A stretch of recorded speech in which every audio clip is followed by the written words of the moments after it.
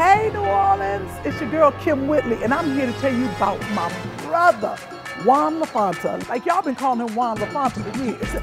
I call him Pretty Ricky. Pretty Ricky, you see his hair? You get in a car accident and you hurt, he gonna help you out. Let me tell you something, I trust him. He's good, he's smart, and he's gonna fight for you. So when you're in a car accident, you call Juan LaFonta, because he will fight for you, and he don't play.